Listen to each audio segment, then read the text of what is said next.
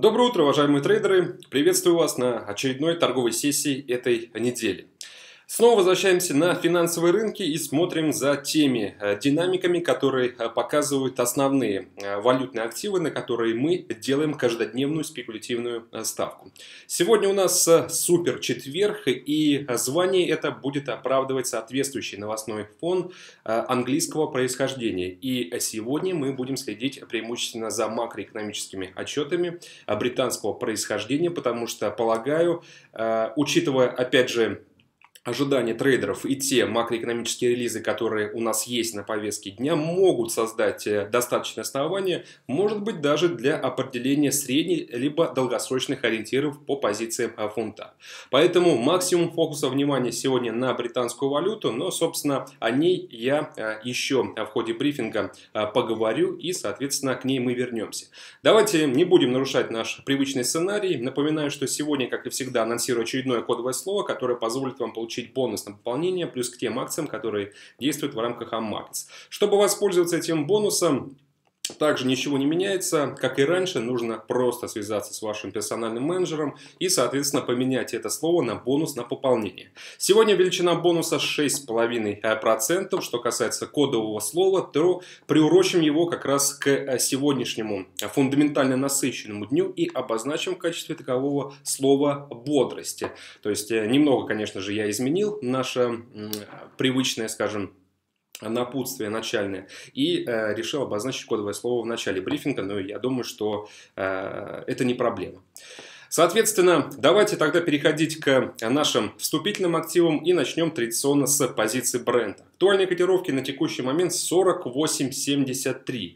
Если днем ранее мы видели, как бренд, учитывая, опять же, общий фундаментальный фон, характерный для него, смог э, зацепиться за сопротивление 50 долларов за баррель, и мы прекрасно понимаем, с чем это было связано, Ливия и Бразилия. Ливия, в частности, э, сообщение о том, что и э, исходя из э, блокирования работы одного из ключевых нефтяных терминалов, производство может снизиться. И прилично на самом деле. Упав, наверное, до менее чем 400 тысяч баррелей, соответственно, в сутки. Что касается Бразилии, здесь забастовка нефтяников, она продолжается. Вот раз сегодня у нас четверг, соответственно, началась она в воскресенье, 5 дней. Но я думаю, что, опять же, накал страстей уже понемногу стихает. И тот факт, то, что по итогам вчерашней торговой сессии если мы увидели то, что бренд показал абсолютно такую же в плане волатильности и скажем, ценовых э, э, изменений э, торговой сессию, как и ранее, только уже с обратной тягой, указывает на то, что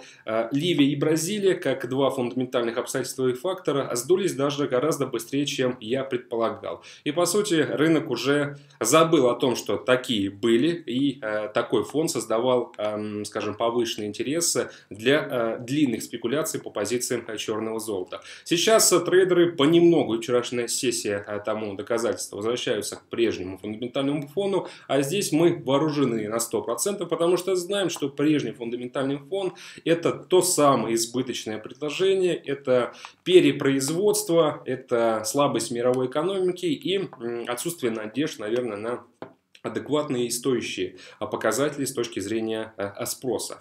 Хочу также обратить ваше внимание на то, что по итогам вчерашней торговой сессии касательно нефти было обозначено еще два очень интересных инфоповода. Во-первых, это публикация данных по запасам нефти США. Они снова выросли, фактическая цифра плюс 2,8 миллиона баррелей за прошлую неделю. Э, напомню, что позапрошлой неделе также зафиксировала прирост, правда чуть поменьше, 2,7. Но в целом, если если мы, опять же, уже будем говорить про тенденцию последних недель, у нас цикл из 6 э, недель, то есть более месяца, когда мы констатируем прирост запасов.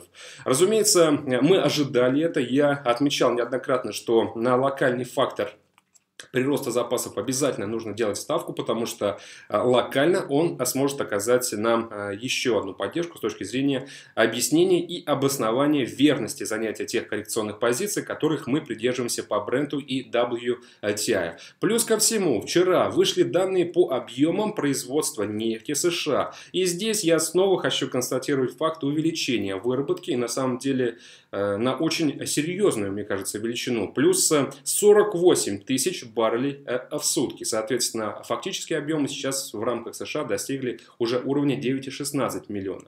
Может быть, это связано как раз с теми стратегическими планами, которые были анонсированы буквально неделю назад, и они касаются возможности продажи стратегических запасов. Более 50 миллионов баррелей, э, которые э, США планируют э, раскидать по мировым рынкам буквально до 2025 года. Может быть, это связано и с другими причинами. Сейчас гадать, конечно же, не будем. Самое главное, мы получили статистику, мы получили факт подтверждения. И, соответственно, у нас в купе с абсолютно точным, четким представлением того, что и в России растут объемы. Я также напоминал вам о том, что это связано с тем, что Федеральный бюджет сейчас ищет э, дополнительные источники покрытия дефицита и приняли решение, скажем, увеличить э, в рамках э, российских нефтяников производство, чтобы поднять тем самым налоговую базу. Соответственно, это российскому бюджету в 2016 году позволит получить дополнительно 50 миллиардов рублей. Но будем надеяться, что эта сумма окажется существенной, чтобы хоть как-то снизить тот негатив, который мы имеем и постоянно э, отмечаем в рамках российской экономики э, в целом. Действительно, бюджет сейчас испытывает очень трудные времена. Мы видим его кризисную, скажем, дефицитность и финансовые, разумеется, монетарные власти, которые призваны поддерживать стабильность финансовой системы Российской Федерации, ищут, разумеется, источники покрытия этого дефицита. Что касается прочих производителей, мы по-прежнему ожидаем дополнительных объемов со стороны Ирана. И не забывайте о том, что уже очень скоро будет заседание ОПЕК очередное, где на повестке обсуждения поднимут э, скажем, вопрос, связанный с возможностью пересмотра квоты. Но забегая вперед, хочу сказать то, что квота, скорее всего, не будет пересмотрена, потому что если бы были какие-либо основания для этого, ОПЕК, наверное, бы уже давно зашевелился и э, создал те условия, которые могли бы вывести стоимость черного золота на те комфортные уровни, которые были э, на финансовых рынках ранее, скажем, в 2012-2013 годах, то есть э, выше 80 долларов за баррель по бренду. Но ОПЕК э, буквально до сегодняшнего дня никаких серьезных прорывных решений для того, чтобы изменить э, ценовую конъюнктуру не сделал, а значит в рамках э, ближневосточного картеля, как я уже отмечал, есть, скорее всего, свой план, э, как сдерживать, соответственно, цены, и все это проводится для того, чтобы сохранить, а может быть даже расширить собственную долю на энергетическом рынке.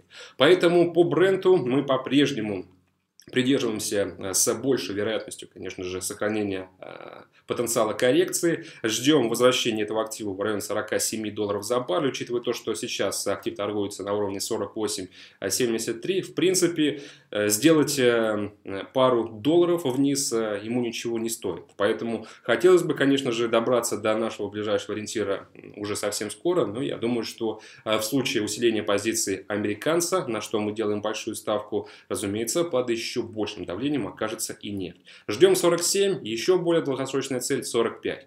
Что касается российской валюты. Актуальные котировки 63.34. Видим то, что после серьезной просадки бренда а, снова сдала позиции и российская валюта. Если мы конвертируем, опять же, стоимость барреля нефти э, с точки зрения рублевого эквивалента в э, российскую национальную валюту, получится то, что баррель нефти с учетом актуальных цен сейчас стоит 3086 э, рублей. Очень мало. Поэтому ждем еще один виток девальвации, чтобы хоть как-то добраться до минимального уровня достаточности доходной части федерального бюджета. Напомню, что эта цифра выше 3300 рублей.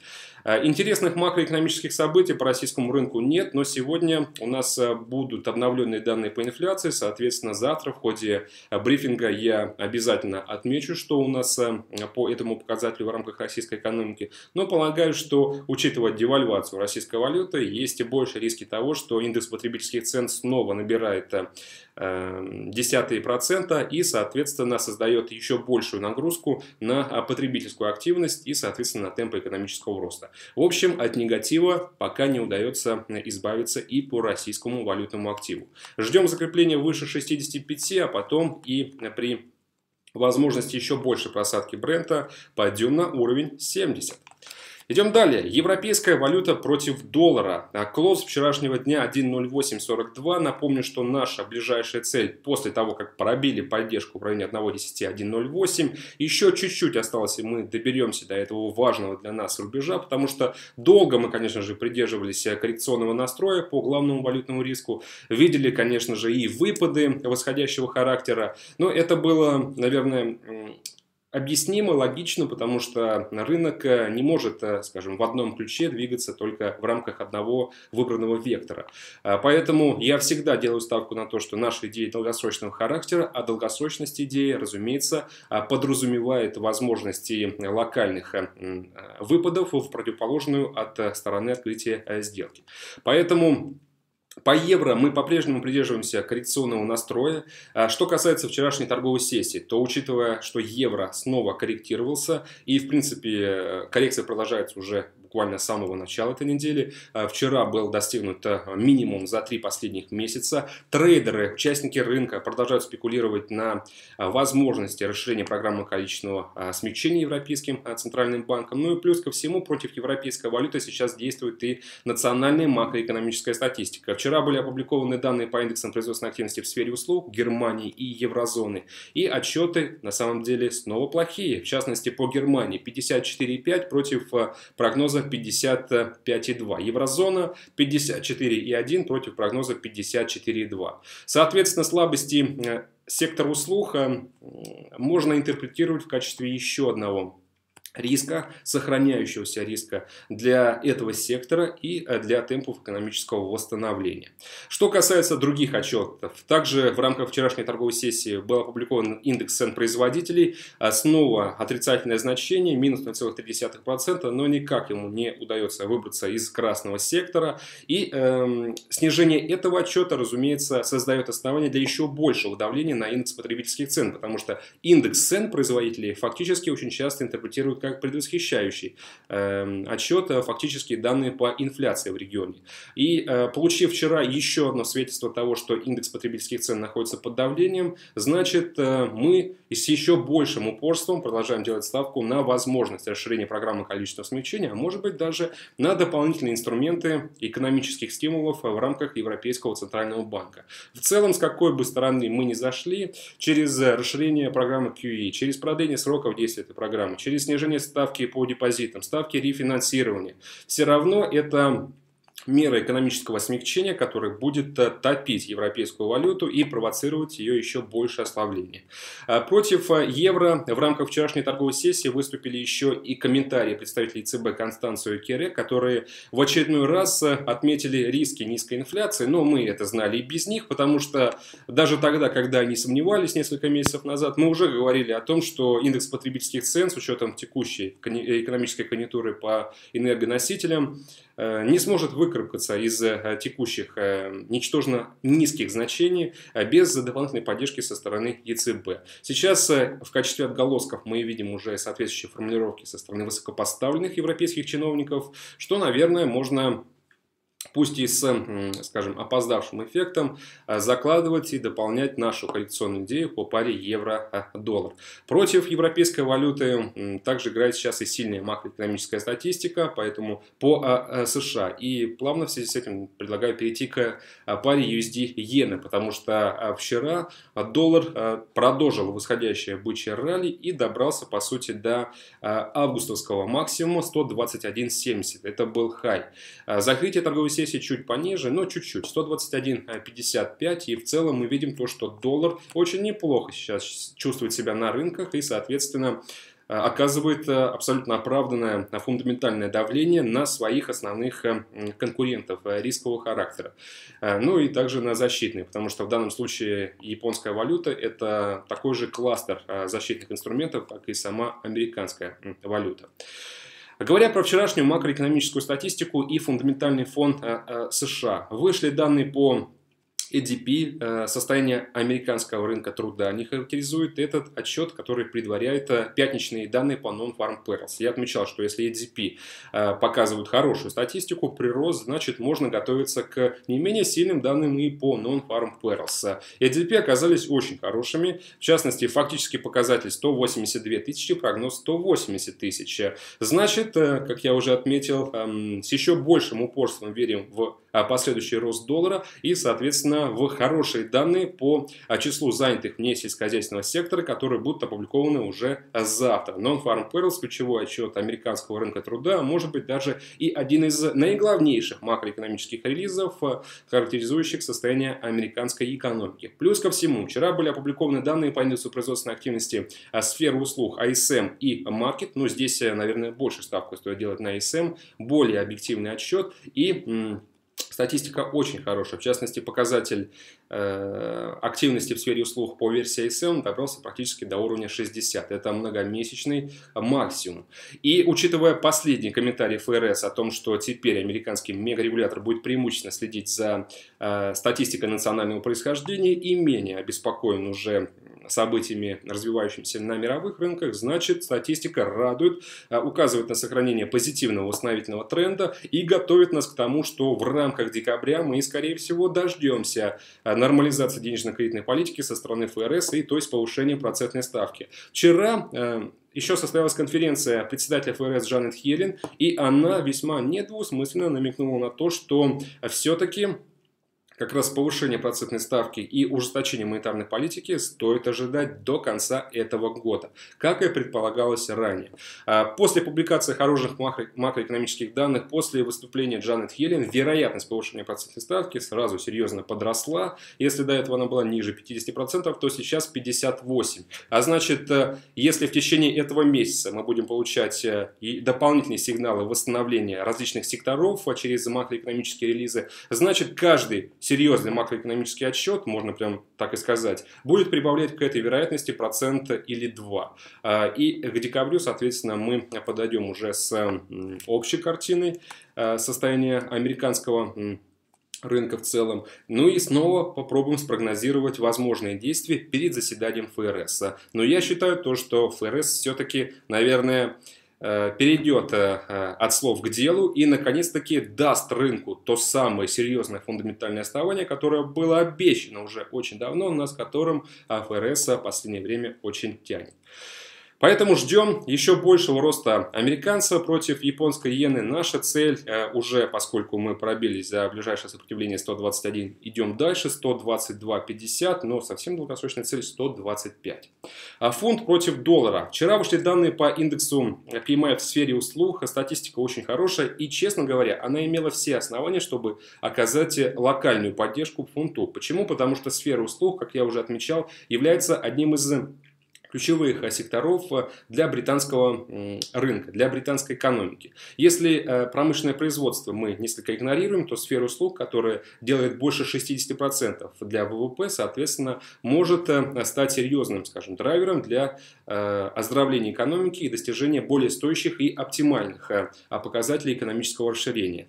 Но трейдеры, даже несмотря на сильные макроэкономические данные по сфере услуг, предпочли пока не торопиться с покупкой британского валюты. И правильно сделали, потому что лучше было бы сохранить выжидательную позицию, особенно в преддверии а, сегодняшней торговой сессии, так называемого супер-четверга. Почему? Потому что сегодня, буквально с 15.00 по московскому времени, у нас будет серия, блок, кластер макроэкономических данных британского происхождения, а, протоколы, ставка, выкуп активов, прогнозы по инфляции, по темпам экономического роста, голосование членов в пользу повышения процентной э, э, ставки. И после этого еще и конференция руководителя Банка Англии Карни.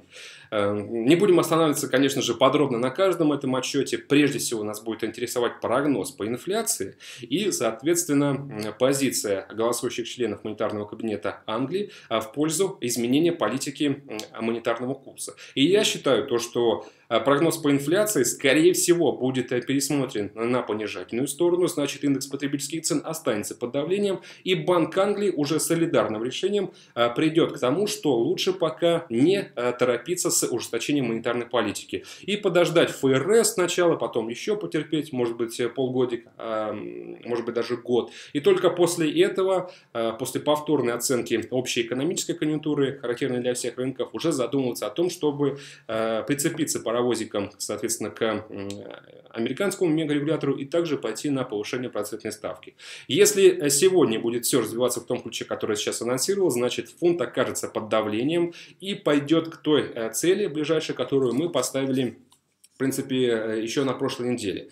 Отмечал э, также, что сейчас стоит придерживаться инвестиционной идеи для тех, кто еще не в сделке. Sell stop уровня 1.5350, take profit 1.52, stop loss 1.5450. Но уверен, то, что сегодняшняя торговая сессия будет очень волатильной.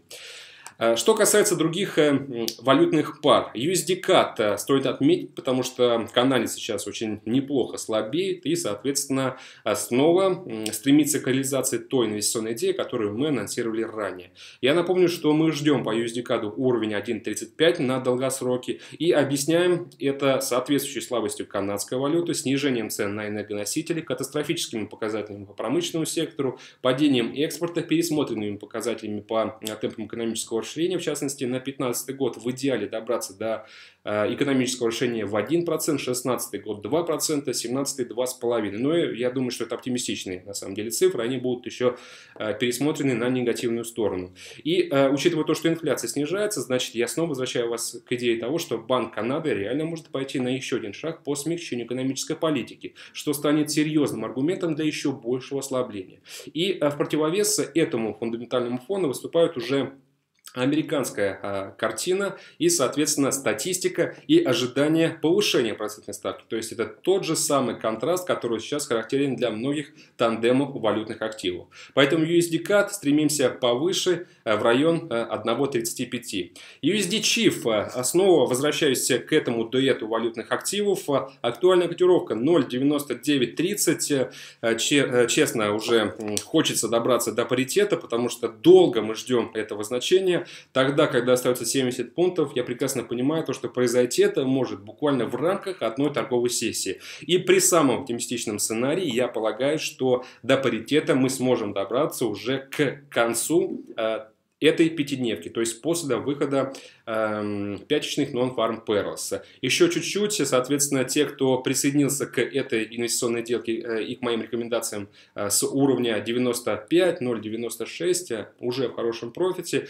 Те, кто не присоединился, здесь, конечно, уже рискованно, потому что может, конечно же, и произойти обратная тяга вследствие недостаточно оптимистичных данных по а, американскому рынку труда. Поэтому я бы все-таки рекомендовал тем, кто вне рынка сейчас по этой валютной паре, воздержаться от трейдинга. Ну, а те, кто в сделке, ждем паритетного значения и, соответственно, готовимся к еще одному профитному результату. Э, австралиец против доллара. Э, вчера мы э, слезали наш sell стоп, в частности он был на уровне 0.7150, продаем, актуальная котировка 0.7148. Напоминаю, что take profit в районе 0.70, но поскольку мы уже оказались в сделке, предлагаю даже пересмотреть уровень стоп-лосса, подтянуть его до уровня 0.72. И, и хотел также отметить еще новозеландца, сейчас находится под серьезным прессом, особенно после тех слабых данных, которые мы мы получили по э, новозеландскому рынку на труда. Селл-стоп у нас был на уровне 0.6620, сейчас 0.6591. Мы в сделке и уже в профите. Соответственно, ждем серьезного э, профитного ориентира. Take profit 0.64, стоп-лосс держим также на уровне 0.67. Из сегодняшних э, важных макроэкономических событий, как я уже отметил, ориентируемся на фон британского происхождения. Еще стоит также обратить внимание на заявки пособия по безработице в рамках США. И э, в 20.30 по московскому времени состоится пресс-конференция одного из голосующих членов ФРС Дениса Локарда, нашего друга, который неоднократно высказывался в пользу того, что нужно уже переходить к ужесточению монетарной политики. Полагаю, что он также может э, оказаться дополнительным драйвером для укрепления позиции доллара. Еще раз напоминаю, что кодовое слово на сегодня бодрость, величина бонуса 6,5%. Большое спасибо за внимание. Если есть вопросы, можете оставлять их на нашем официальном канале на YouTube под видеоокном. Ну и также пользоваться форумом Markets, где у меня есть своя ветка. Задавать ваши вопросы и там. Большое спасибо за внимание. Всего доброго. До свидания.